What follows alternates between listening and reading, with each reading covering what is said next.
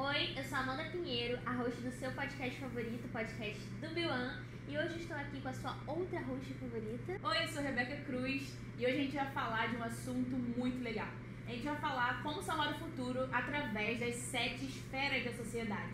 Que são, para quem não sabe, fica ligado: família, religião, tradução, igreja, educação e ciências, comunicação, arte, economia e comércio e governo, tradução política. Você faz parte, se encaixa de, em alguma dessas esferas e quer saber, cara, como que eu posso resplandecer seu reino, expandir o reino através do que eu faço, aonde eu estou. Fica ligado nesse podcast que a gente vai bater um papinho sobre isso com os nossos queridos convidados. Yeah. Por favor, primeiras damas. Tudo bem, tudo bem. É, eu sou Milena, 22 anos, faço medicina, décimo período. Sou do staff do B1, líder de salva-vidas e também de um 832 na minha universidade. Que isso, brabo. Ela faz de tudo um pouco. É. A gente fica assim, E ainda estuda medicina. É. né? Como? um esculacho. E ainda é crente de oração. É, essa parte é. eu sou o Newton, Newton Castro, prazer. Eu sou designer do B1 e trabalho aqui na Igreja Basta Atitude, fazer seis anos aqui. E faço de tudo um pouco aqui. né? Literalmente, o pau pra toda obra. Mas. e é isso. Gente, se você não sabe, tudo que você vê de criatividade no B1 é o Newton. Instagram do Identidade do Biwan. B1, Newton. Vídeos do tudo, B1, quase. Newton. YouTube do Biwan. Newton. É, Entendeu? inclusive sou eu que canto no meu music também. Eles são só. O pessoal que você vê no palco, só eles só dublam. É, enfim, eu acho muito legal a gente começar esse podcast esclarecendo então algumas coisas. Monte de coisas que eu quero perguntar. Cara, o que é o salva-vidas? Rapidamente, o que é o 832? Que acho que a galera pode ficar um pouco perdida. Tudo bem. Então, o Salva Vidas é um ministério dentro da igreja de voluntariado, né? Nós servimos ao B1, um grupo de jovens que servem e principalmente nos cultos de sábado. Mas não só, né? É. A gente também serve nos domingos, a gente também é chamado para outras tarefas, como para o instituto, né? Então nós somos o grupo de voluntariados do B1. Agora, o 832 é o B1 nas universidades, que a gente diz, né? Nós literalmente entendemos que as universidades precisam conhecer quem Deus é e nós fazemos isso com o 832, que é como se fosse uma pequena célula na universidade. Ela fala muito bem. Fala, Ela fala garota. dicção assim perfeita. Perfeita. Treinei no espelho. Newton, fala um pouco da comunicação da igreja também. O que, que acontece na comunicação? E conta o que pode ser contado. A parte das brigas. Nada vídeo do rato voador.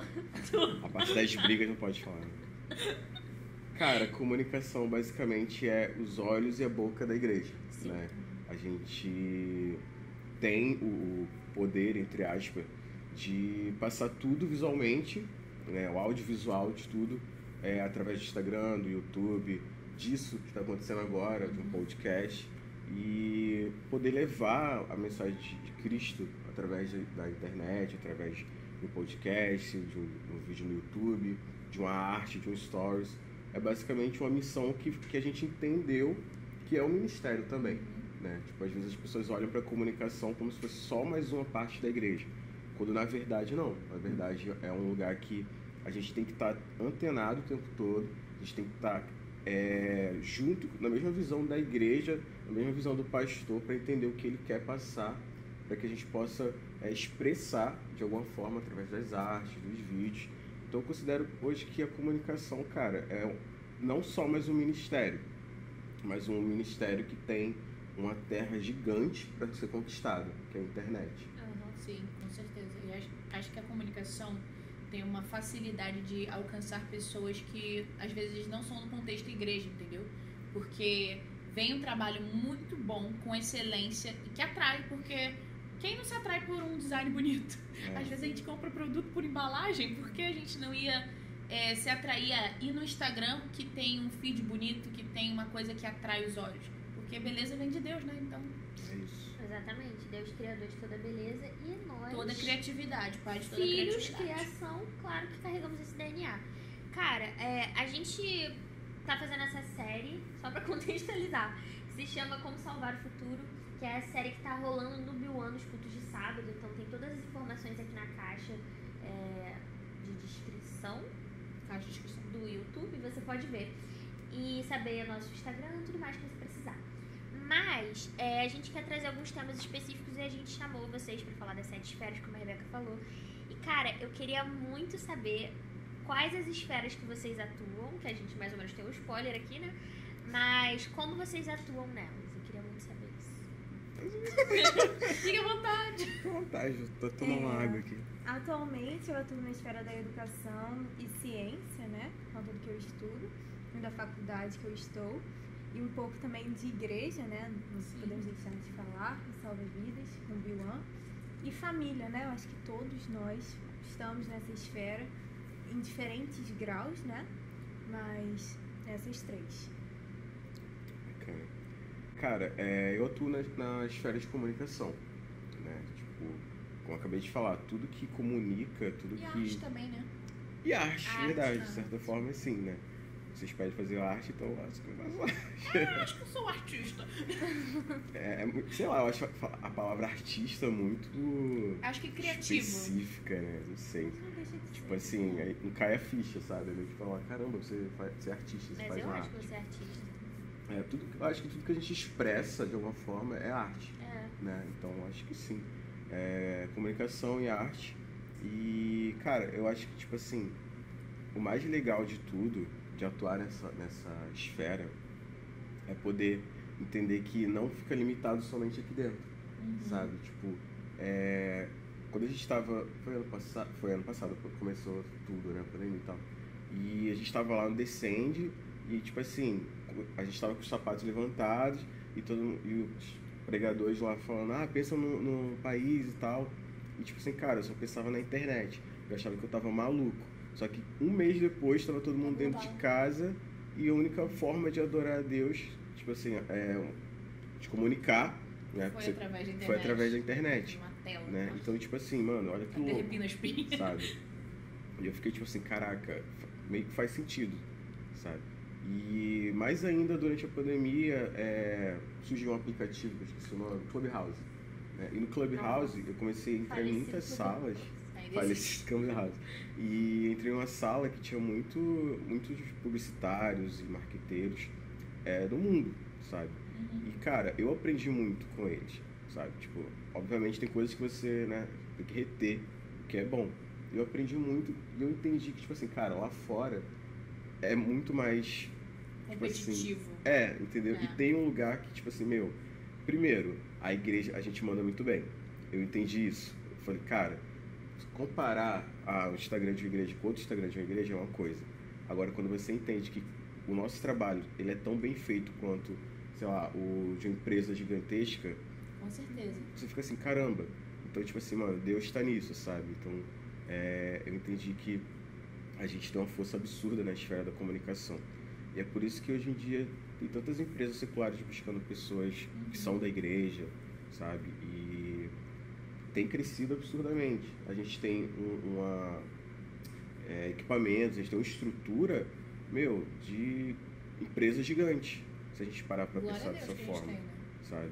Então, tipo assim, ó, eu hoje eu me sinto muito feliz, eu não me sinto perdido nesse meio. E eu entendo que tipo assim, cara, Deus quer usar tanto pra aqui dentro quanto pra fora. Sabe? Isso me anima muito, de verdade. Me anima. Cara, eu queria entender um pouco, porque muita gente deve estar escolhendo sua faculdade ou escolhendo sua profissão, às vezes nem faz uma faculdade porque tem aptidão pra, tipo, ser um criativo ou ser, sei lá, ou quer tá estudando muito pra entrar numa faculdade de medicina, que acho que a gente sabe que é difícil. É, ou outra área. É, como que surgiu? Como que vocês entenderam que, de certa forma, Deus chamou vocês pra estar naquela área? E através da excelência que vocês praticam, através dos dons que Deus deu a vocês, para expandir o reino. E como vocês entendem? Vou, vou fazer uma pergunta em, em duas. E como vocês entendem que através da profissão de vocês, através daquilo que vocês exercem, vocês são capazes de expandir o reino? Como Entende? vocês chegaram lá e, co- e como E é que é? Como é que é pra fazer, entendeu? O, de fato. Biográfico agora. agora. A sua biografia, por favor. Cara, saber, Milena, como é que foi. minha mãe diz que desde pequena eu sempre quis ser médica. Desde pequena, não tem como A explicar. única que manteve esse sonho. Então, desde pequenininha eu sempre quis ser. É, durante a minha adolescência, né, eu fiz ensino médio militar, então militar que eu digo é para passar em provas militares. Uhum. Então era muito matemática, física, química, então eu fiquei meio balançada na época porque eu gosto muito dessa área de matemática, em fazer algo relacionado. Mas eu sempre soube que ia ser medicina, assim, algo falava mais forte comigo que ia ser medicina. Eu não era cristã na época, né? Até tinha tido algumas pequenas coisas com Deus, minha família é cristã, mas eu não tinha relacionamento com Deus. Mas a medicina sempre chamou muita atenção, principalmente pelo fato de cuidar de pessoas, né? E entrei para a faculdade, comecei a fazer, me converti no meio da faculdade. E lá pro quinto, sexto período, no meio, né, tive uma crise absurda, absurda. Senti Deus me pedindo para deixar a medicina. Caramba. Senti de verdade, assim. Eu, eu lembro que eu, eu fiquei muito angustiada. Porque... Mas Deus, o que está acontecendo? Eu tô na minha faculdade, eu tava no. Pô, na época, a célula que a gente tinha lá tava deslanchando, assim, as coisas estavam acontecendo, eu tava, cara, é pra eu largar, não tô entendendo. E aí eu vou pra psicologia, eu vou pra outra coisa. E aí eu entrei num propósito guiado pela minha discipuladora e Deus me respondeu que era aquilo mesmo, que era pra eu continuar na medicina. E entendi que Deus precisava do meu coração e por isso que eu precisei desse momento. É como entregar Abraão, né? Entregar aquilo que era muito precioso para você e para mim era medicina e estar tá disposta a deixar aquilo, mas Deus não, não me fez deixar. Então eu continuei e vira e mexe as pessoas oram por isso. Teve um culto muito marcante no Biwan, esse ano eu acho, em que a Mapê orou pelo, eu não sei se foi por design original, mas pra gente pensar sobre isso, sobre o que Deus formou a gente e só conseguia vir medicina na minha cabeça. Então eu tenho certeza que eu tô nesse caminho aí para cuidar de pessoas, né? É, minha mãe sempre me falou: você não vai ser só uma médica, você é uma cristã disfarçada de médica. Então é literalmente, nem disfarçada, gente, tem nem como disfarçar muito, mas eu acho que é levar o amor de Jesus para as pessoas da forma como, eu vou tratar, como eu vou falar, né? Explicar para elas também que às vezes a medicina não vai poder fazer, mas Deus vai curar, sabe? Eu acho que minha, meu primeiro recurso é sempre buscar a cura em Deus, mas sabendo que a medicina pode sim tratar e fazer, porque Deus nos deu a medicina. E, enfim, mas aí tem muitas outras coisas envolvidas. É, a primeira pergunta é como eu cheguei lá, e a segunda pergunta é como que você se vê exercendo aquilo e expandindo o reino de Deus? Cara, você respondeu um pouquinho, eu respondi um pouquinho. Responda mais. Respondi um pouquinho. É, eu ainda não sei qual área da medicina exatamente eu vou atuar, mas eu acho que isso independe da área que eu vou escolher.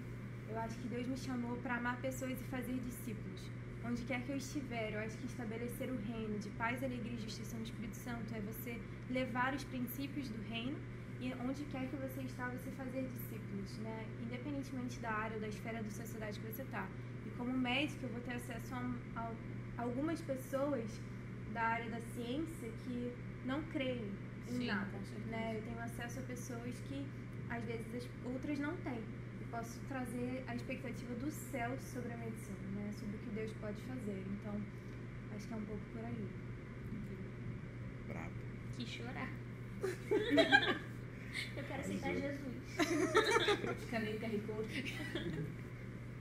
E Cara, você, comigo foi mais doido. Porque, tipo assim, se me perguntassem. é? Ah, se me perguntassem seis anos atrás, tipo, ah, o que, que você vai fazer na sua vida? Eu acho que nem ia passar a hipótese de falar, tipo, designer de uma igreja. Sabe? tipo assim. Mas Primeiro- você pensava ser o quê? Nossa, mano, eu, pe- assim, eu queria muito ser jogador de futebol, tá ligado? Não te vejo como jogador de futebol Mas de eu joguei, eu joguei no- na categoria de base do Vasco durante três meses Escolheu bem. e fui dispensado. Graças a Deus, Escolheram livramento. mal. Deu certo. Escolheram bem, hoje ele tá aqui. Livramento. Aí, tipo assim, mas desde, desde o início, acho que desde do- os primeiros meses da minha vida, Deus fez umas coisas inexplicáveis, sabe? Tipo, minha mãe me abandonou na casa de outra mulher, tipo, no sofá, pediu um copo d'água, me abandonou e foi embora. Aí eu fui adotado, é, morava em Maceió, Alagoas, vim pro Rio de Janeiro e fui morar na Rocinha. Morei um ano e pouco na Rocinha, fui pro Rio das Pedras. Foi aí que eu comecei, né, querendo ser jogador de futebol e tudo mais. E aí é, joguei no Vasco e, tipo, ali era o objetivo da minha vida. Tipo, cara, eu tenho que ser jogador de futebol, não importa o que aconteça. Era o sonho do meu pai, toda expectativa, parece toda expectativa da minha família era aquilo, sabe? Tipo, por ser o filho mais novo e tal. E eu fui dispensado e eu lembro, tipo, muito bem desse dia, porque meu pai foi me buscar lá. E, tipo assim, cara, foi muito marcante porque ele voltou do meu lado no ônibus chorando, sabe? Tipo assim, porque, é, tipo, eu, eu não tava nem muito triste, sabe? Eu tava tipo assim, cara, eu sou novo, eu vou fazer outro teste. Só que, tipo assim, eu olhei nos olhos do meu pai, ele tava chorando, tipo, e eu não entendi muito bem o que era aquilo, sabe? Mas alguns meses depois, eu comecei a jogar no time do lado, do bairro mesmo, e eu conheci gêmeos que me levaram para a igreja. Só que minha família toda sempre foi católica. Uhum. Né? Minha mãe era católica que, mano, era cheio de, de mais de casa. Católica, católica, ela é, praticante. Que, ia, que vai pra igreja todo que ia, né? Que ela se converteu, graças a Deus. Que ia pra igreja todos os dias. E aí, quando ela soube que eu tava indo pra igreja evangélica, virou uma guerra. Porque, tipo assim, cara, é, ela não concordava e tal. E aí eu quis me batizar. E a pastora foi na minha casa falar com minha mãe. E aí, tipo assim, passou horas conversando com ela e minha mãe aceitou. Resultado, minha mãe foi pro meu batismo e aceitou Jesus no meu batismo. Chocada. Tudo tem um é. propósito. E aí, tipo, minha caminhada com Cristo começou dessa forma, né? Só que até então, nada de design. Foi aí que, tipo, é, aconteceram algumas coisas na minha primeira igreja, eu fui pra segunda. Aconteceu outras coisas nessa segunda. E aí eu comecei a trabalhar, né? Tipo, porque futebol não, não existia mais. Então comecei a trabalhar e tal. E aí comecei a trabalhar como porteiro. Eu cobri as férias do meu irmão. E aí o cara gostou e, tipo assim, mano, eu tinha, tipo, 20 e poucos anos. Na portaria de prédio, o pessoal chegava, tipo... Novinho, né? É, o pessoal me levava a sério. Cadê o porteiro? Tipo, ah, sou eu. Tipo, sou não, eu. cadê o porteiro? Não, você é o vendedor do iFood, fala sério. É. e aí, tipo assim, é, ganhava bem, só que, tipo assim, eu não conseguia vir pra igreja, sabe? Eu trabalhava, tipo, o dia inteiro. E aí eu comecei a falar com Deus, sabe? Eu falei, Deus, essa não é a vida que o Senhor tem para mim, uhum. sabe? Eu não acredito que minha vida acabou aqui. A, estimativa de vida que eu tinha era zero. E aí eu pedi demissão, com o dinheiro eu comprei o notebook. E eu, comecei, eu conheci as células da Wake. por fé, então, cara. É. E aí eu conheci as células da Wake comecei a visitar. Tipo, desempregado mesmo, comecei a visitar. E eu fazia arte para todas as células da Wake todas. Tipo, eram oito ainda. No... A prática aí da perfeição, é, gente. Toda, Só toda pra semana. deixar vocês antenados do que a gente tá falando. A nossa igreja tem células que têm nomes específicos. Então, algumas células se chamam Wake. Que é o setor. Que é o setor da, da de células da rede branca. Da rede, rede branca. branca da nossa igreja. E aí o Newton fazia arte para todas essas células. E eram, tipo, semanais, oito, oito artes. Posso pontuar uma coisa? Uhum. O Newton não sabia mexer em nenhum software. É, software. Você já tinha feito algum curso, alguma coisa? Eu fiz o curso, mas eu não fiz de Photoshop. Eu fiz curso de. SOS tipo, computador. PowerPoint. É tipo isso, tá ligado? tipo Excel. É, Excel, PowerPoint Word. Eu fiz o curso disso, mas não sabia mexer no Photoshop nem nada. E aí eu fazia as artes no Photoscape. Eu nem sei o que é. Photoscape é um programa muito antigo, muito antigo. Quem tinha Orkut já usou é. Photoscape. muito. Tumblr, então. Cringe. E aí, tipo assim, eu fazia as artes para as células. Só que, tipo assim, a minha família é, colocava uma pressão muito grande. Uhum. Porque eu estava desempregado, tipo, fazia, ia para quase todas as células durante a semana. E eu lembro que uma vez o meu pai ele virou para mim e falou assim: é, Ah, igreja não vai encher tua barriga. E aí, tipo assim, eu me senti um pouco magoado, sabe? E. Ah, detalhe: a minha antiga igreja, antes de vir pra, pra cá, eu fui sair da igreja, né? Fui falar pro meu antigo líder. Ele virou para mim e falou assim: Ah, tudo bem, você pode ir, mas você não vai ser ninguém lá. E, tipo assim, você vai ser só mais um no meio da multidão, porque a igreja é gigante. E, cara, Olha aquilo, mais um no meio da multidão agora, queria e aquilo, tipo assim, foi como uma facada, sabe? Eu me senti muito mal. Eu e aí depois o meu pai falou: Ah, a igreja não vai encher a tua barriga. E era tudo pra, tipo assim, desistir, sabe? E, tipo, voltar a ter uma vida é, sem propósito. Uhum. E aí foi quando o pastor Tiago me ligou e falou assim, ah, vai lá pra igreja. Aí eu, tipo assim, e desligou. Aí eu, caraca, tipo, mano, que eu fiz, tá ligado? Chamou pro gabinete. É. Aí eu cheguei aqui, liguei pra ele, falei, pastor, eu tô aqui já. Aí ele, ah, procura tal pessoa, que era a antiga gestora da comunicação. Aí quando eu cheguei na sala, ela, ah, você que é o Newton e tal, eu, sim. Aí ela, ah, você trouxe seu currículo?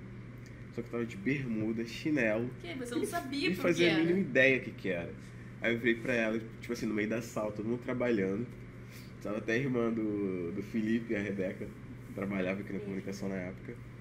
E eu falei, era pra trazer currículo, tipo assim, e todo mundo parou e tipo, olhou pra minha cara, tipo assim, coitado do moleque, tá ligado? Tipo, jogaram ele na, na É. dos leões, ele nem sabia. E aí, tipo assim, é, a sorte eu colocava as artes no Facebook. E aí ela viu as artes e tal. Mas eu voltei pra casa, tipo assim, caramba, perdi um emprego que eu nem sabia que tinha possibilidade de ganhar. E aí, depois de dois meses, eu lembro que eu fiz o Vida Vitoriosa nesse curto tempo. E eu voltei do Vida no domingo. Na segunda-feira ela me ligou. Falou, olha, você começa na outra segunda. E aí foi que tudo começou, sabe? Só que eu lembro quando eu cheguei aqui, cara, eu usava um notebook positivo, editava no Photoscape. Quando eu cheguei aqui, o Eliseu virou pra mim e falou, teu computador é aquele ali. Era um iMac e só dava pra usar Photoshop, Illustrator, Premiere. Lightroom, tipo, todos os programas que eu nunca tinha usado na vida. Né? Então, tipo assim, cara, é, eu entendo que tudo que eu faço, tudo que eu fiz até hoje, mano, é total dependência de Deus. Nada do que eu faço é tipo assim, nossa, o Newton que fez, mano, não é.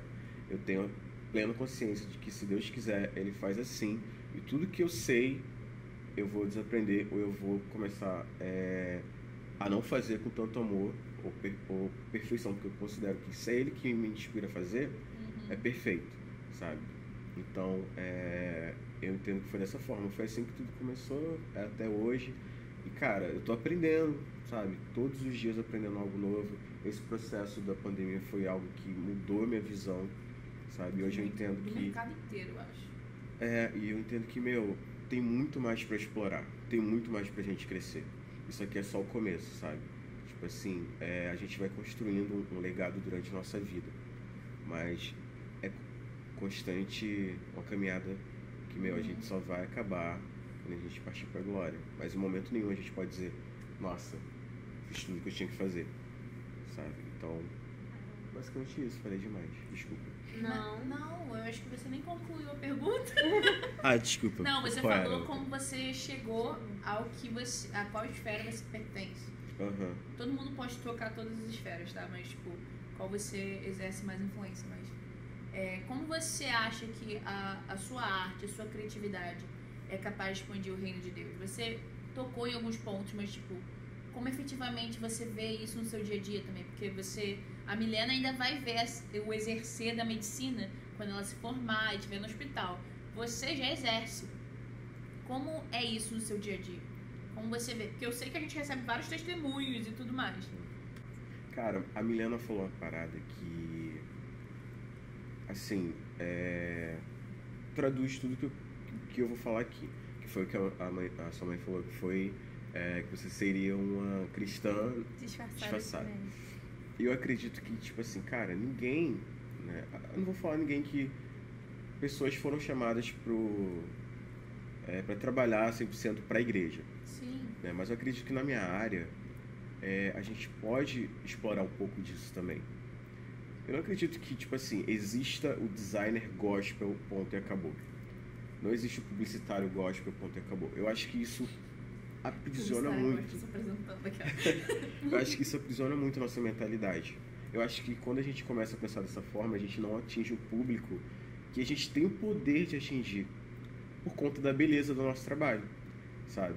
Tipo assim, que é o público da moda, que é o público que liga pra estética, Com certeza. que é o público que olha pra, pra fora e pensa, caramba, meu, olha essa marca aqui, que campanha legal. Olha que, sei lá, que a Prada fez, olha que a Gucci fez, olha que a Adidas fez. E são coisas que nós conseguimos fazer e atingir essa galera, sabe? Por que não eu posso trabalhar aqui, mas eu posso trabalhar para uma empresa secular e ser um cristão lá, entendeu? Sim. Então, tipo assim, isso mudou muito minha mente. né? Antigamente eu pensava, não, sou designer de igreja, ponto acabou, eu vou olhar as referências só de igrejas. E, cara, hoje mudou, tipo assim, 80%.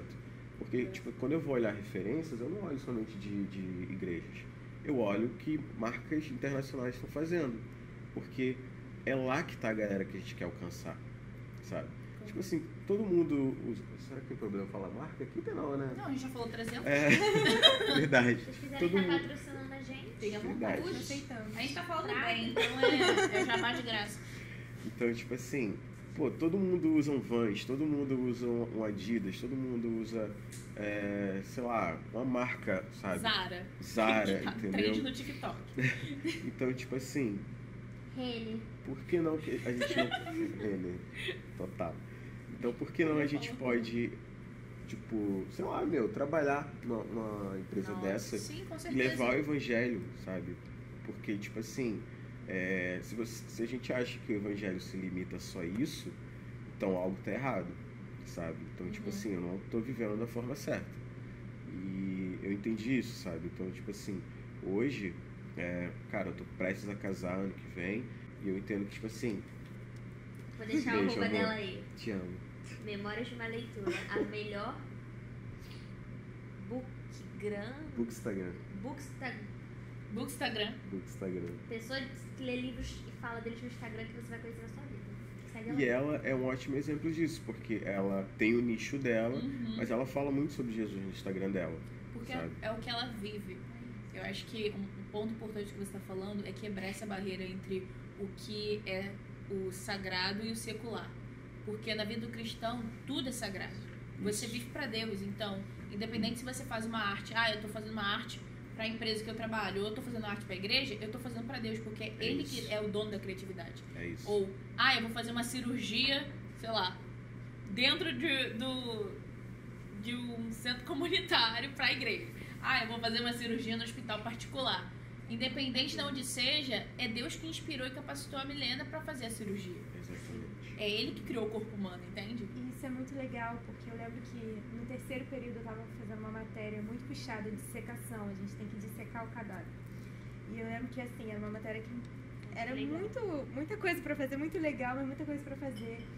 E a minha líder de célula, Karina, que hoje é minha discipuladora, virou pra mim e falou: Mi, tudo que você fizer, faça como para o Senhor, aquele versículo de Colossenses. Isso Uhum. virou minha capa do celular depois, porque é literalmente isso, não importa o que Ótimo, você tá mano. fazendo. Não Gente, importa, é. Mas é, não importa o que você faz. Você tá fazendo. Claro que você não vai assaltar um banco pra Deus. Isso não existe, né?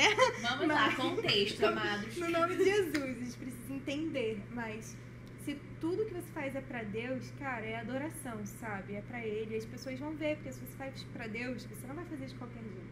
As pessoas vão reconhecer, né?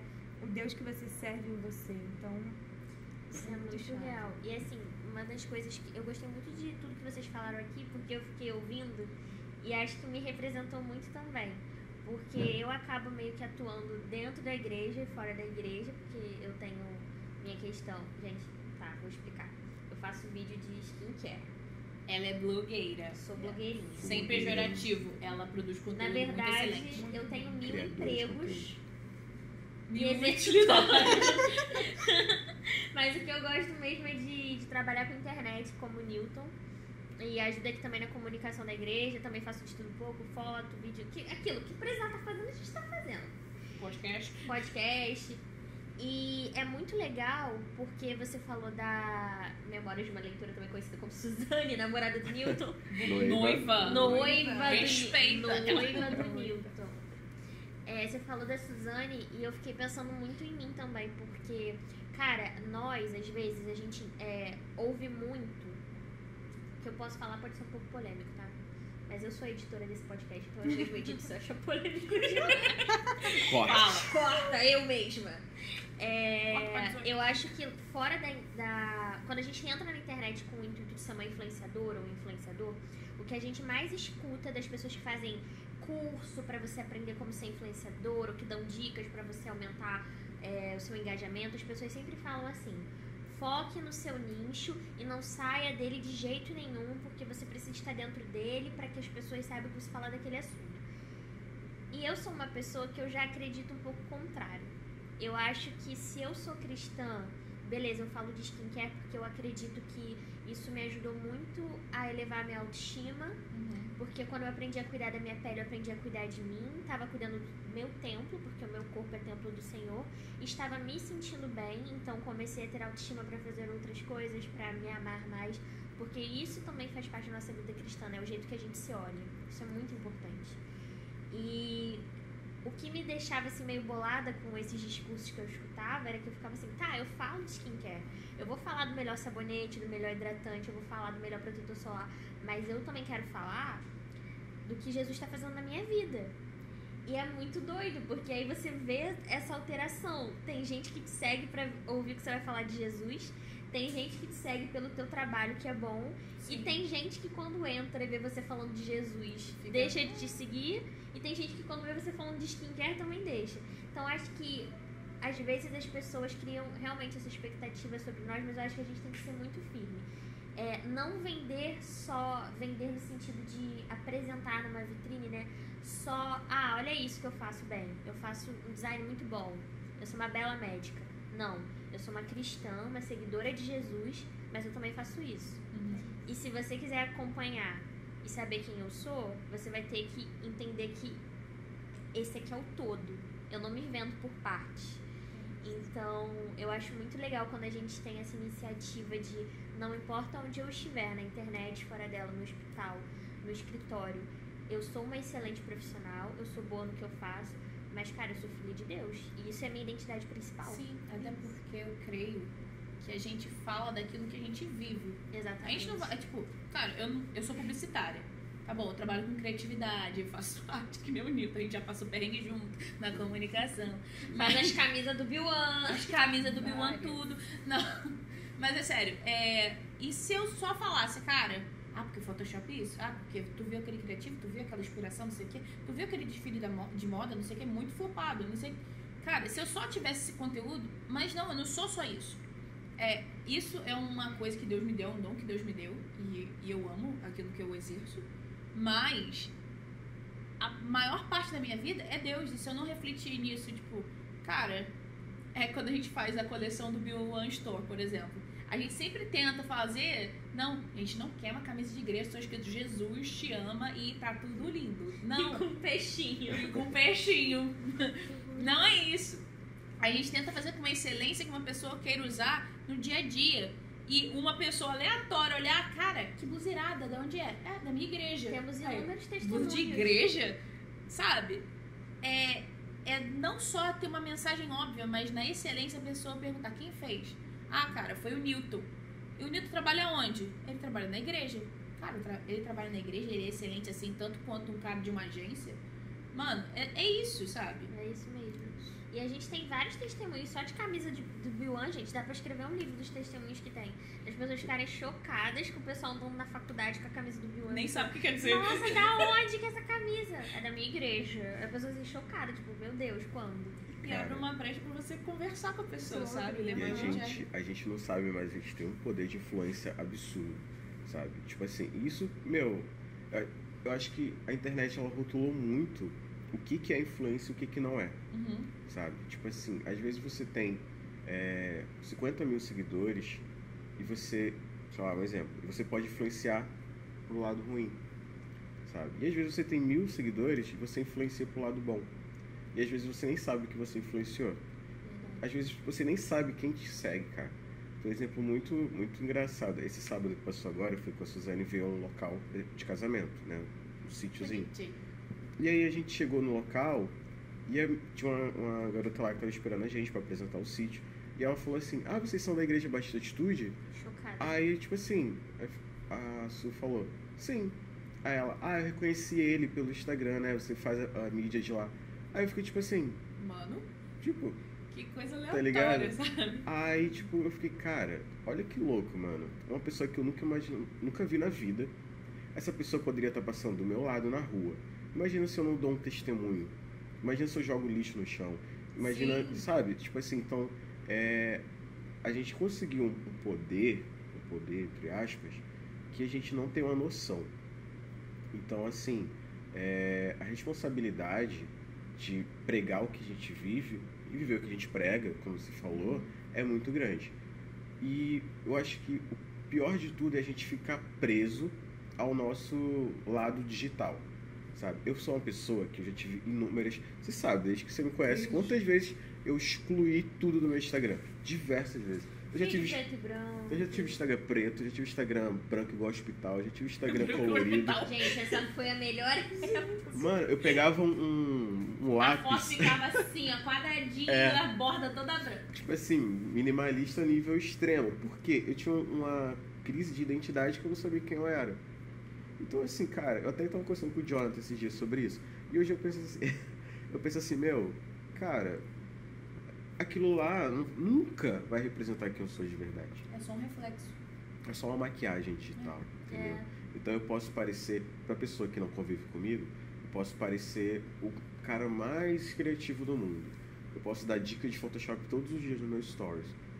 Mas quem convive comigo sabe realmente quem eu sou. Sabe que eu sou uma pessoa brincalhona, sabe que eu falo de Photoshop o tempo inteiro. Sabe que às vezes eu quero Graças chegar a assim Deus, né? e falar sobre outras coisas. Sabe? Tipo assim, não quero ficar falando sobre arte, sobre vídeo, sobre. Só quero conversar às vezes, entendeu? Things. É, entendeu? Então, tipo assim, é, todos nós, esse- a gente trouxe pra nós um- uma responsabilidade no digital muito grande, Sim. que às vezes estraga o nosso lado Uhum. humano, sabe? Então, tipo assim, às vezes a gente fica tão preocupado. é, tem uma música que fala: preocupação com views trazendo progresso que ninguém viu. Ou seja, é, a gente pensa que, ah, meu stories deu mil. Tá, mas no mundo existe bilhões de pessoas. Então, tipo assim, cara, aquilo ainda não é o, o- tua meta de vida. A tua meta de vida não é alcançar milhões de pessoas no teu Instagram. A tua meta de vida é alcançar pessoas que estão do seu lado e que queiram estar do seu lado. Porque não adianta você ter um milhão de seguidor e não ter um amigo quando você tá mal, sabe? Nossa, sim. Então, é, eu entendi isso. Eu tinha muita crise. Meu Deus, eu não tenho nem dois mil seguidores. Cara, hoje eu penso assim, meu, se eu influenciar pro bem uma pessoa, tá ótimo. É porque eu Sabe? acho que a gente não tem noção. Às vezes a gente abre, a, ge- a gente que tá no Instagram há muitos anos, a gente abre ali os stories. Ai, meus stories estão flopados. somos milênios. Millennials. Nós somos é cringe agora, gente. Cringe. É, a gente é cringe. E a Ah, gente. Milena, o que é cringe? Fica cringe, a Milena é nervosa. Mentira que você não sabe o que é cringe. Eu Amiga, tenho um vídeo nasceu em que explicando, eu vou te Tchau, mostrar. gente. É Ela- geração ela não é geração, cringe. geração Z. Depois a gente. Nada sabe- contra, sabe o que é tá bom? cocoricó? Nada contra. Ah, Cocoricó. Meu Deus, ela não não é estranho, não é estranho. Meu Deus, ela não sabe o que é cocoricó. Castelo Ratimbu. Ah, Castelo ok. Rá-Tim-Bum. Tudo bem, então tá. perdoado. Teca na TV. Aquela, He-Man. tudo TV Cultura. He-Man, eu sei. Pô, Mas tem um menino aqui na igreja que fez tacar na TV. O Luigi. Sério? Ele era o. Esqueci o nome do personagem dele, mas ele fez teco. Gente. Fofo, né? Enfim, é... só pra não perder o fio da meada. É, às vezes a gente que tem Instagram já há muito tempo, às vezes tem um número maior de seguidores, o pessoal que é mais blogueirinho, assim, né? Que usa Instagram só pra postar as fotos, que usa mais pra querer crescer nisso, fala assim, nossa, meus stories estão tão flopados, 200, 300 views. A gente se cobra às vezes disso. Mas eu acho que é diferente. Mas se você parar pra pensar, uma sala com 300 pessoas É. ouvindo o que você tá falando. Imagina. Ah, Amanda, mas nem todo mundo ouve. A pessoa fala, tá, que sejam Reflete 10 isso no pessoas. material, né? Tipo. Que sejam 10 pessoas ouvindo o que você tá falando atentamente. Eu acho que mais do que o alcance que você falou é literalmente o impacto. Se eu impactar a vida de uma pessoa. E cara, quantas vezes eu vejo isso? Às vezes eu tenho muito essa crise, tipo assim, às vezes eu tô vivendo algo muito incrível com Deus. Tipo, essa semana o Senhor falou muito comigo sobre alegria. Buscar alegria no Senhor e só no Senhor. E tem várias coisas dando errado na minha vida. Spoiler. E aí, Spoiler. e o Senhor falando comigo de alegria. E eu senti muita vontade de postar sobre aquilo, uma palavra que o Senhor tinha me dado. Eu falei, Deus, eu vou fazer esse story pro Instagram. Aí a galera vai achar que é dica de skincare. Aí a galera vai, tipo assim, me odiar. Mas aí eu falei, cara, não, eu vou postar. Porque se tá tocando no meu coração é porque alguém precisa ser impactado com isso. E aí eu fui e postei. Eu recebi mensagem de três meninas me agradecendo. Três meninas me agradecendo. Falando assim, isso era mais, o que eu mais precisava ler hoje como o Senhor, tipo assim, falou comigo através disso. E aquilo mexeu muito comigo. E uma outra coisa, só pra fechar meus exemplos aqui, porque eu não sou entrevistada. Uma outra coisa muito legal é que eu tinha uma época que eu era viciada em fazer stories. Você lembra e você lembra disso. Eu lembro. Eu era muito viciada. E aí depois eu criei ranço de stories total, então só fazia pra questões de trabalho. E aí quando eu vinha pra, quando eu venho pra igreja, eu não gosto de fazer stories do culto, porque eu fico assim, gente, que stories do culto que é? A pessoa quer ver stories, a pessoa quer ver stories do culto, ela vai no Instagram do Bilan e ela vê, já tem uma pessoa lá pra fazer stories do culto. E eu parei total. E aí teve, nos últimos cultos, assim, eu tava tocando muito no meu coração, assim, faz um story, posta. Meu Deus, que mico. Eu ir lá na, na frente do altar fazer um story da pessoa cantando, todo mundo adorando e eu, Inclusive do João. inclusive do Jonatas pulando que era muito bom esse story. E aí eu fui, fiz e mesma parada. Gente me agradecendo, falando, poxa, eu precisava ouvir essa música. Um trecho de 15 É. segundos que impactou a noite daquela pessoa. E a gente não tem noção, cara, de como Deus usa coisas simples, tipo um story, pra falar com alguém. Sabe? Umas paradas assim. Então, seja corajoso. Minha mensagem é essa. A minha pergunta é: Eu queria que vocês dissecassem. Gostou da palavra? Eu amei. dissecassem. pra, pra quem tá assistindo, sabe? Quem tem interesse de se aprofundar em alguma esfera da sociedade, como especi... Não, obviamente a gente tem diversas esferas da sociedade aqui. Mas como especificamente você aconselharia alguém quer mergulhar, por exemplo, eu quero mergulhar na esfera do governo, eu quero mergulhar na esfera da educação, é, ciência, arte, comunicação. Como eu posso é, me especializar naquilo e mergulhando naquilo, posso ser uma pessoa influente na minha área de atuação, sabe? Como vocês indicariam? Seria se aproximando de pessoas que vivem aquilo? Seria se abastecendo de conteúdo, se alimentando de conteúdo sobre aquele assunto? Explorem. Cara, eu acho que assim. É porque aqui tem dois exemplos muito diferentes. Muito. Né? Tipo Por assim, isso vocês estão aqui, porque são extremos opostos. ela, tipo assim, cam- percorreu esse caminho. Eu fui puxado, sabe? Com toda a força. Então, tipo, é... hoje a gente tem essa facilidade, tipo assim, você que tem, tipo, 18 anos, você consegue parar e pensar, meu, o que, que eu quero seguir com a minha vida? Mas pode ser que, tipo assim, Deus te chama pra Deus te chame pra, pra outra coisa. Mas a única forma de saber é orando e ouvindo a voz de Deus. Sabe? Tipo assim, a Milena falou que a voz de Deus é, chamou ela pra isso. Eu não tinha ouvido a voz de Deus até então. Deus teve que gritar no meu ouvido, entendeu? Tipo assim, bora! é uma pessoa. Vai, Entendeu? querido! Sou um pouquinho teimoso mesmo. Então, tipo assim, é, o que, que os dois têm em comum? A voz de Deus Uhum. sabe? Então, você que é cristão, você que é, já tem o caminho percorrido com o Senhor, cara, ora, sabe? Por exemplo, na, na área da comunicação, é uma área que, meu, é, você não para nunca. É uma área que hoje é uma coisa, amanhã, daqui a uma semana é outra. Medicina é a mesma Medicina coisa. igualzinho. Nunca É? pode estudar. né? Então, nunca tipo para assim, nunca estudar, para, sim, entendeu? Inovar. É sempre uma tipografia nova, é sempre uma, uma estética nova. Às vezes, os anos 80 volta, A cor do ano. entendeu? Então, tipo, é, entendeu? Então, é, é legal, é gostoso de trabalhar dessa forma. Não é chato. E eu acredito que o- com a Milena é a mesma coisa. Então, é, primeira coisa, orar. Segundo, meu, você ter paixão pelo que você tá fazendo, sabe? Eu acho Teu que isso é coração tem que estar sabe? queimando por aquilo. Tipo assim, meu, você acordar e falar, meu, vambora. Mais um dia, vamos, sabe, tipo, ganhar almas pro Senhor. Vamos, tipo assim, meu, fazer isso aqui chegar para o máximo de pessoas possíveis, porque alguém vai ser transformado através disso, sabe? Tipo, é, a Milena pode falar melhor, tipo, como é que é a área dela e tal. Mas eu acredito que, meu, deve ser maravilhoso, tipo, ver alguém chegando, e aí você cuidar, tratar, e depois aquela pessoa sair bem, Nossa. sabe? Sair com saúde, deve ser incrível. Com certeza. É... Qual que é a pergunta mesmo? Qual foi a pergunta? Esqueci. A nova Sei. É porque eu gostei de usar essa palavra até a Milena ficou assim. "Hum". É uma boa palavra. É, disseca pra gente como uma pessoa que quer mergulhar em esferas específicas, que se sente chamado ou se- sente que tem interesse sobre aquilo. Como passos práticos, sabe? Como essa pessoa pode é, ir se aproximando disso pra exercer aquilo, ser influente naquela área. Nossa, eu acho que o Newton ele falou perfeitamente como primeiro horário. Eu acho que qualquer esfera que você for atuar, você precisa ser totalmente dependente do Espírito Santo. Totalmente. Porque quando o seu conhecimento falhar, quando qualquer coisa que fugir do seu controle falhar, você é dependente do Espírito Santo. E é ele que vai te guiar, independentemente se for política, se for economia, independentemente de qual for a esfera. Uhum. Você precisa ser dependente do Espírito Santo para tomar decisões, para segui-lo, até para estudar para a prova, gente. De verdade. Tinha vezes. Eu pedir misericórdia pra Deus. Falando assim, Deus, me passa as respostas.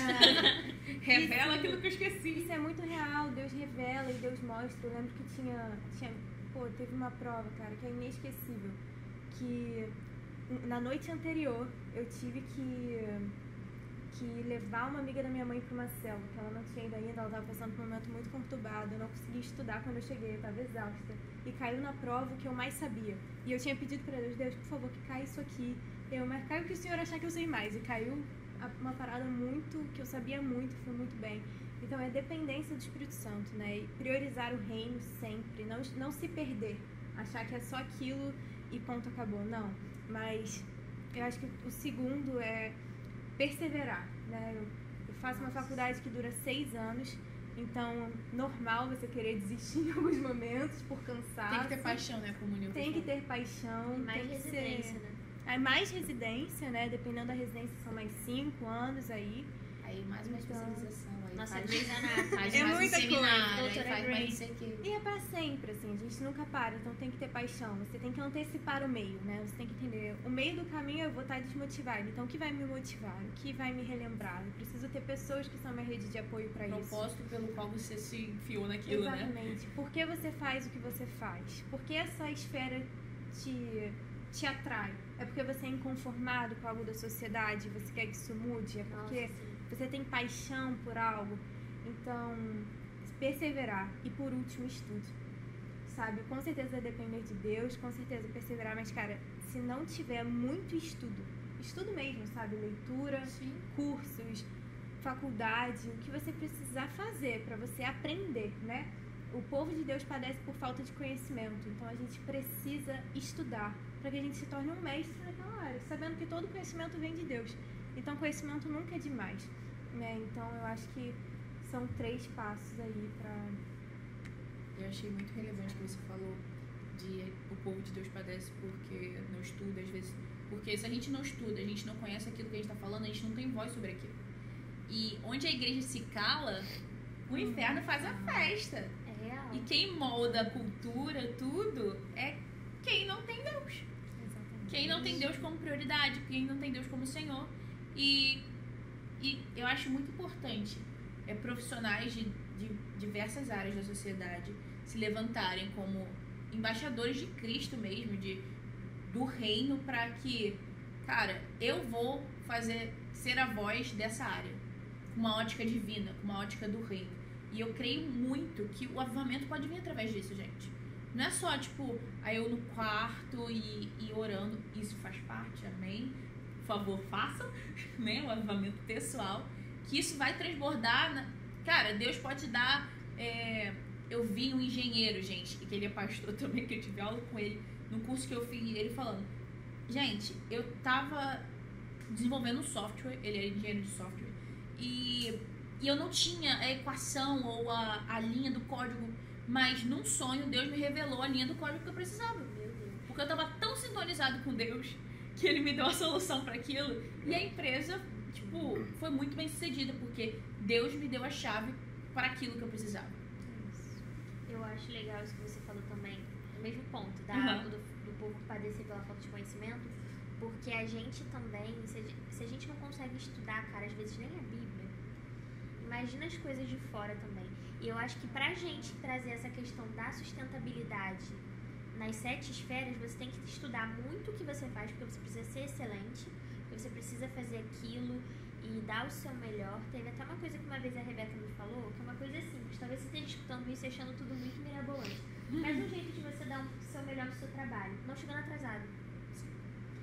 Quando você chega atrasado, você lembra que você me contou isso? Você está roubando do seu patrão. Porque ele te paga para você trabalhar tantas horas e você está chegando atrasado. Então, pequenas coisas. Ser excelente nessas Pode pequenas parecer coisas. pesado, mas é verdade. Pode parecer pesado, mas é real mesmo, né? E agora eu queria muito saber de vocês, voltado para as áreas né, que vocês estão. Eu queria muito. Eu não sei se no caso do Newton isso vai ser simples, né? Mas vamos tentar. Eu queria muito um exemplo, um testemunho mesmo, de algo que aconteceu assim, fora do ambiente igreja, na esfera que vocês atuam, que vocês falaram assim, meu Deus, eu tenho.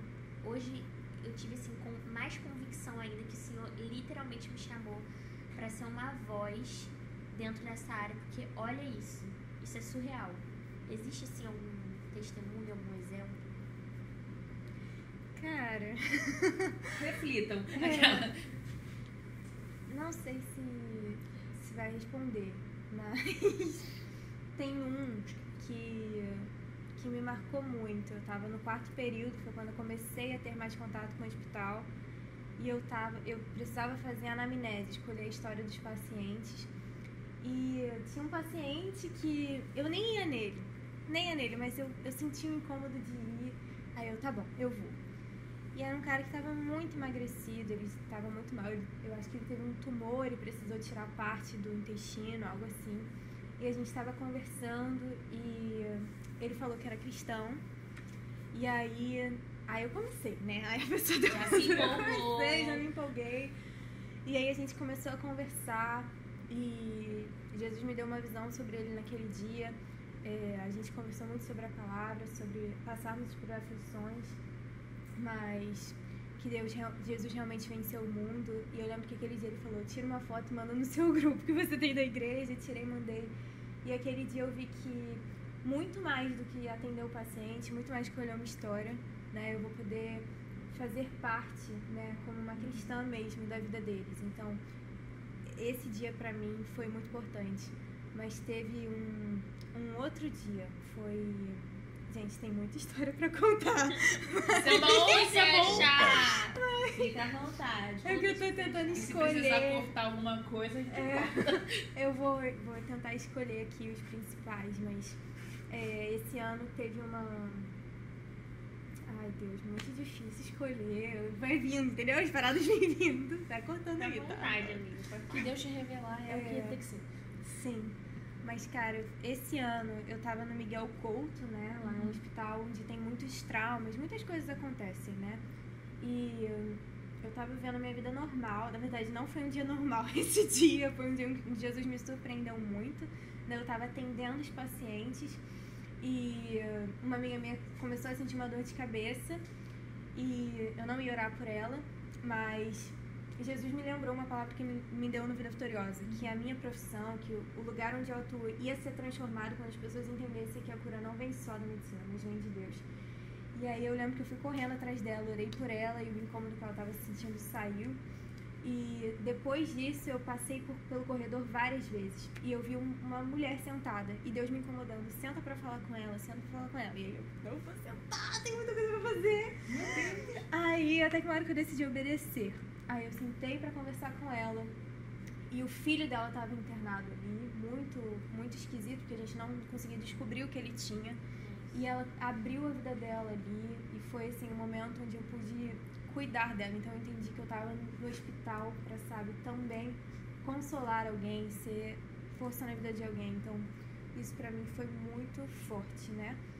Então, isso pra mim só confirma que, claro, vou atuar muito como médica, mas Deus quer me usar onde quer que eu esteja, né? Pra amar pessoas, pra consolar pessoas. Então, é isso. Porque às vezes tudo que uma pessoa precisa ser escutada. É ser escutado. Isso. E o médico poucas vezes escuta.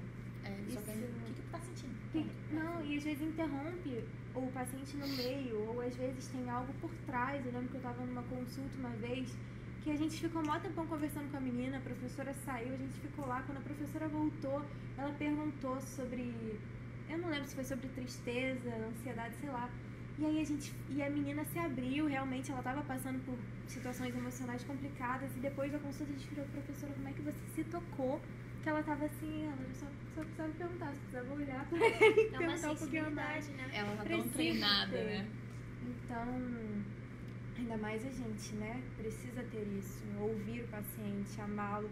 E a gente que é cristão, né? A gente aprende, pô, Deus me ouve tantas horas no meu quarto de oração. Por que, que eu não vou ouvir alguém? Como ouve, não é mesmo? Ainda bem que ouve. não ouvir? Então, um pouco por aí. Vai, Nilton, seu desafio. Cara, a minha, a minha experiência foi. Incrível que pareça também lá no Miguel Couto, quando meu pai estava internado lá. Lugarzinho. Lugarzinho. E, Tá falando, gente. cara, a, a, Milena, a Milena deve saber que ali é um lugar que, tipo assim, meu, pra quem tá internado ali, é muito, muito complicado, sabe? Pelas condições.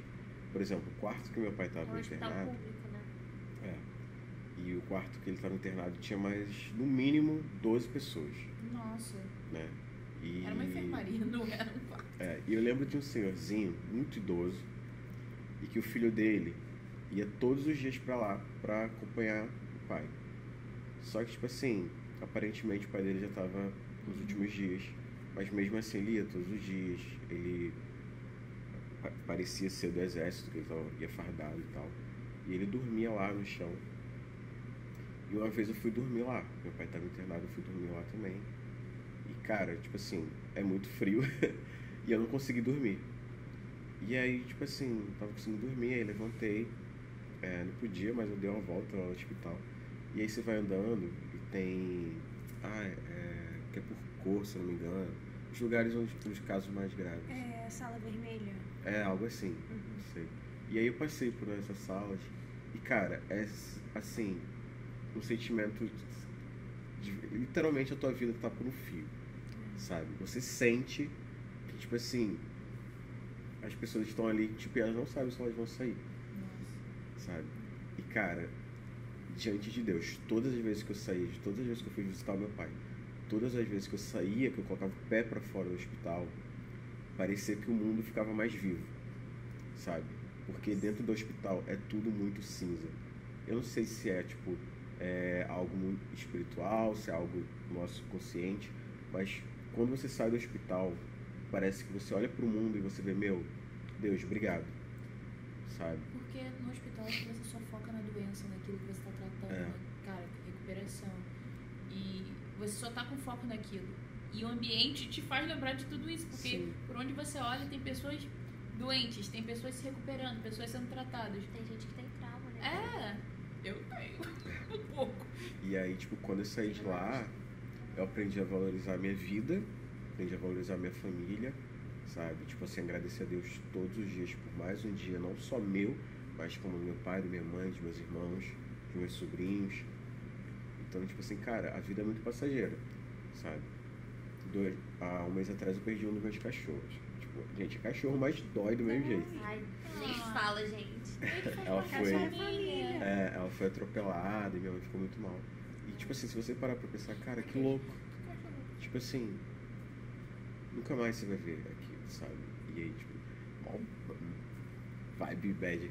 É, Eu acho que nesse momento é, É natural, a gente tem que disso. tratar o Mas- luto como natural, gente. é, senão então, tipo assim, eu entendi, cara, mas a vida é isso, sabe? A vida é isso. Porque Ah, Milena, eu tenho mais uma pra contar. Contar. a vida é isso, sabe? Então, tipo assim, aí eu conversando com Deus e tal, e aí eu parei e falei, Deus, eu não quero te questionar o porquê, o nome da minha cachorra era Mel, o porquê que a Mel morreu, mas eu quero te agradecer por ter a oportunidade de ter vivido com a Mel, sabe? E eu pensei, mano, é isso, a vida é isso, sabe? Tipo, cara, a gente só vive uma vez, esse momento aqui só vai acontecer uma vez, então assim, você tem que ser grato a Deus por você estar tendo essa oportunidade. Sim. Porque, cara, quantas pessoas, infelizmente, não estão mais aqui hoje, sabe? Quantas pessoas com essa pandemia foram embora e simplesmente acabou, sabe? Mas o que que, qual o legado que elas deixam? Qual o legado que nós vamos deixar? De novo sobre isso. É, entendeu? Então é, é isso, sabe? Tipo, a experiência que eu tive foi de aprender a valorizar a minha vida e ser grato, sabe? Tipo, e não. Só um comentário sobre isso. Acho muito importante a gente valorizar a vida e aprender a viver ao máximo. Não tipo, ah, depois, depois, depois, depois. Sim, ah, depois eu nossa. aprendo. Ah, depois eu estudo. Ah, depois eu corro atrás do meu sonho. Cara, o seu viver é agora, o seu futuro é agora. Você só vai viver o futuro que você deseja se você plantar agora. Porque sempre vai ter um depois. Sempre vai ter o depois. Sempre vai ter uma casa melhor. Até que não tenha. Entende? Até que não depois, tem. né? Sempre vai ter o depois até que não tenha. E É muito vezes- filosófico, mas é, É, verdade. E às vezes a gente fica tão focado em trabalho, em faculdade, tipo assim, ah não, tem que trabalhar pra fazer muito dinheiro pra ter uma casa melhor. Mas é família, cara. Tipo assim, quando você tiver essa casa, será que você vai ter família pra colocar dentro dessa casa? Isso. Exato. Entendeu? Então, tipo É assim, É isso então. Nossa sociedade. Tô brincando, tá? Nossa, Você- a gente terminou. A Amanda tava brincando. Não, amiga, que tipo, eu fiquei tipo. Eu. Tadinha da Mara, foi isso tudo. É que eu já tava no meio da frase. Não, tudo bem. Mas eu acho que a nossa sociedade ela vive muito nisso, né? Tipo assim, eu tenho que conseguir, é sempre o dia de amanhã. É sempre o dia de amanhã. E a gente não aproveita nada do hoje. É o tempo todo. Eu tenho que ser bom, eu tenho que conseguir. A gente vive no tá, tá, tá. futuro e no A gente presente. literalmente não tem equilíbrio. Ou a gente relaxa completamente, não faz nada. Ócio total, Netflix. Não que seja errado você assistir Netflix. Pipoca e né, gente? Netflix. Descanso é necessário, gente. Mas é, só descansar ou só trabalhar que é o problema. Existe um equilíbrio perfeito para todas as coisas chamado Deus. Você queria fazer- contar mais uma história, amiga? Queria contar mais uma história. É... Ai, Deus. A gente tava... Acho que ela ia chorar. Espírito Santo. Eu também. Eu, Sim, nossa, eu gente, agora. Não, a agora. história, né? Porque Corte. perguntei sobre a, a nossa área, né? Engraçado. Foi dentro da igreja, mas não tem nada a ver com a igreja. Eu vim servir um dia no Salva Vidas, né? Eu ia liderar esse dia com o Alan. E eu tava pra começar a reunião com o pessoal que eu servi. E apareceu, e aí me ligaram, né? Falaram assim, Mi, você tá na igreja, pode vir aqui. Me pediram pra ir lá na frente, porque chegou um homem que tinha caído e se machucado. E aí eu cheguei lá, ele tava com o braço ruim, né? Ele tava com o braço doendo muito. E ele tava com. Eu acho que ele tava com umas escoriações também. E aí, vamos lá, o que a gente tem que fazer, né? Temos que imobilizar o braço desse homem, temos que fazer algumas coisas e a gente correu atrás. Né? algumas coisas. Isso é tipo, muito legal. Muito né? Grey's Anatomy. Queria muito Legal. ver você fazer uma traqueostomia com uma caneta Bic. Gente, isso Esse não é meu existe. maior. Gente! Não vão ver. Existe sim que eu vi naquele Corre Bino, que é uma cilada. Como é que é o nome desse programa? Não sei. Siga bem caminhoneiro? Não, Meu carga Deus, pesada. Carga pesada. Siga bem Isso não caminhoneiro. existe, não? Siga bem caminhando. Olha, um faz- olha, eu não faria com uma caneta Bic, entendeu? Poxa, gente, tem muito Muito perigoso. Ainda bem é que eu nunca me formei em medicina, porque esse era o meu único propósito. Dr. House também mentiu pra mim. Assim, o é Doctor? medicina de guerra, gente, assim. Se tá numa guerra tem uma caneta, É, você usa bem. caneta. É, sobre isso. Enfim, e aí eu lembro que esse dia a gente foi, eu fui socorrer, ajudar esse homem, e aí eu fui orar por ele, assim, porque a gente sempre ora primeiro. Posso orar por você? Eu orei. E aí o Espírito Santo me conduziu a orar para que ele fizesse o raio-x e nada estivesse ruim. E aí aquele dia a gente saiu da igreja e levou ele até o Lourenço Jorge. A gente ficou com ele lá até ele ficar bem, depois a gente trouxe ele de volta e o Gustavo, que era um outro salva-vidas, acho que foi ele, levou ele para pegar o BRT para ir para casa. E nesse dia que era para eu estar servindo na igreja, Deus me levou a servir uma pessoa fora daqui na minha área, que era medicina. Que delícia. Então, foi mais uma forma de Deus confirmar sobre a medicina na minha vida e ver que a medicina serve, né? Sim. Aí serve a igreja, serve as pessoas, então esse dia foi muito importante. E confirmar teu ministério também, porque tu tava na hora certa, No no lugar No certo. lugar certo. Eu acho que medicina é um, viver um estilo de serviço mesmo. É total. É doação. É doação. Completa, completa. Gente, que podcast denso. Se você não saiu inspirado disso, Se você não saiu daqui com vontade de ler um livro, tu, tu viu errado. Vem de novo! Vê de novo. Um livro ou um e-book. é. Petição pro Newton lançar um tá um e-book podcast, pra me ensinar a editar no Lightroom. se dedicar no EAD na sua faculdade, Nossa. Porque, Nossa, olha, pegou pesado. peguei pesado porque eu acho horrível. EAD, eu confesso. Respeitem É os difícil. professores de vocês, não matem aula. Sejam bons no que vocês fazem, porque é pra glória de Deus. A pedagoga. Muito obrigada, pessoal. Esse foi mais um podcast do Boa Newton e Milena. Que papo inspirador, sério. Foi uma delícia. E a gente agradece.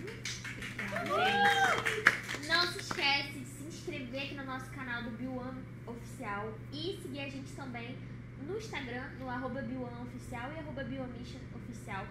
A gente tá sempre postando um bando de conteúdo legal, tanto no Instagram quanto aqui. Tanto vai ter música nova que vai ser lançada, vai ter um monte de, de coisa. Os nossos cultos também estão online, presencial.